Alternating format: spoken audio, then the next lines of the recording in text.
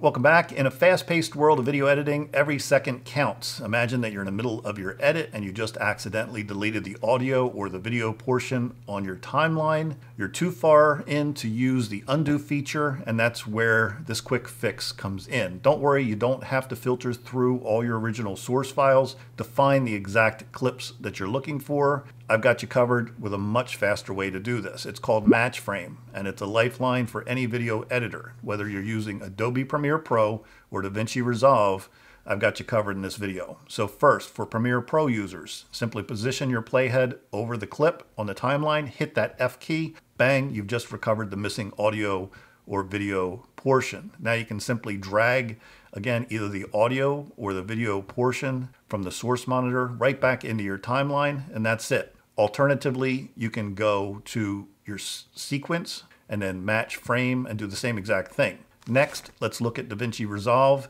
It's the same shortcut key. The windows are just a little bit different. From the Edit tab, just hover over the clip, press the F key on your keyboard.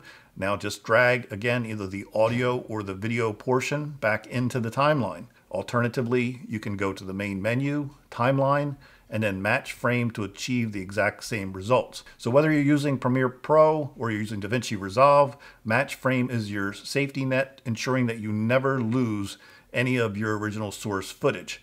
That's it. It's that easy. See you guys in the next video.